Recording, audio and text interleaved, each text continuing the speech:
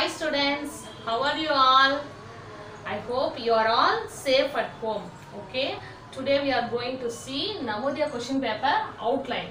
Okay, before going to prepare for examination, you should clear on medium. In which medium you are going to write exam, English or Tamil.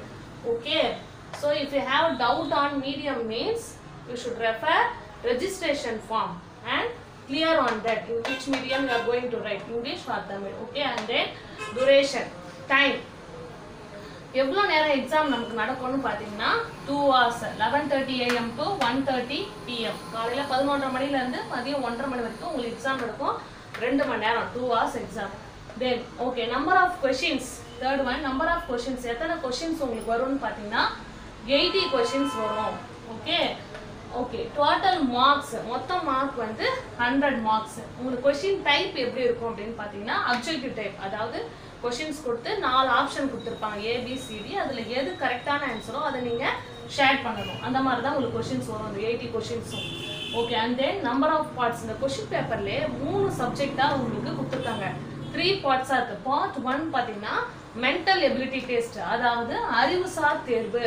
அதாவது பிக்சர்ஸை கொடுத்து அதுலேருந்து உங்களுக்கு questions கேட்பாங்க. இதுலேயே பத்து பிரிவுகள் இருக்குது நம்ம அது நம்ம விரிவாக பார்க்கலாம். அண்ட் தென் பார்ட் டூ பார்த்தீங்கன்னா மேத்தமெட்டிக்ஸு கணிதம்.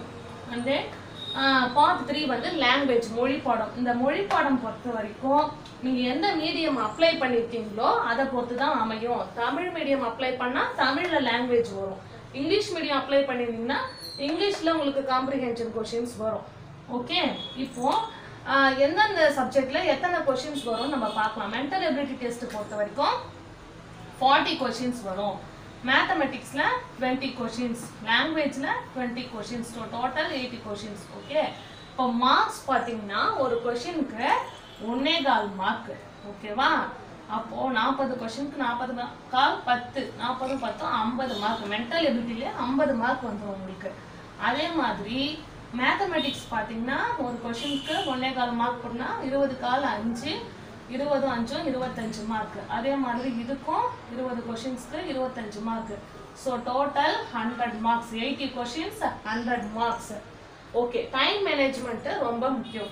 இப்போ நாற்பது கொஷின்ஸ் இருக்குல்ல ஒரு கொஷினுக்கு நம்ம எவ்வளோ டைம் எடுத்துக்கலாம்னு பார்த்தீங்கன்னா ஒன்றரை நிமிஷம் எடுத்துக்கலாம் தாராளமாக அப்போ பார்த்தீங்கன்னா நாற்பது கொஸ்டினுக்கு நான் நாற்பது அரை இருபது. நாற்பதும் இருபதும் அறுபது. ஸோ அறுபது நிமிஷம். ஒன் ஹவர் நம்ம தாராளமாக மென்டல் எபிலிட்டி டெஸ்ட்டுக்கு எடுத்துக்கலாம். அதே மாதிரி மேக்ஸ்க்கு பார்த்தீங்கன்னா இருபது அரை பத்து இருபதும் பத்தும் முப்பது. இப்போ ஆஃப் அன் ஹவர் அதே மாதிரி தான் இதுக்கும் ஆஃப் அன் ஹவர் இருக்கும் இல்லையா? So total one twenty minutes two hours two ஹவர்ஸில் நம்ம எக்ஸாமை கம்ப்ளீட் பண்ணிடலாம். ஒரு கொஷனுக்கு ஒன் அண்ட் ஆஃப் மார்க்ஸ் அப்படின்ற எடுத்துக்கிட்டா. இதில் எந்த பார்ட் நமக்கு ஈஸியான பார்த்தோ அதில் நீங்கள் டைம் சேவ் பண்ணி வச்சுட்டு கொஞ்சம் டஃப்பான பார்ட்டுக்கு நீங்கள் என்ன பண்ணலாம்? டைம் கொஞ்சம் தாராளமாக எடுத்துக்கலாம். மேக்ஸ்லாம் வந்து டக்குன்னு நம்மளால் சால்வ் பண்ண முடியாது இல்லையா? கொஞ்சம் டைம் எடுத்துக்கும் ஸோ அந்த டைமிங் அட்ஜஸ்ட்மெண்ட் நம்ம பண்ணிக்கலாம். ஓகே இந்த மாதிரி நம்ம பிளான் பண்ணி பண்ணோம் அப்படின்னாக்கா ஈஸியாக சக்ஸஸ் ஆகலாம். ஓகே இன்னொரு வீடியோவில் உங்களை சந்திக்கிறேன். Thank you all the best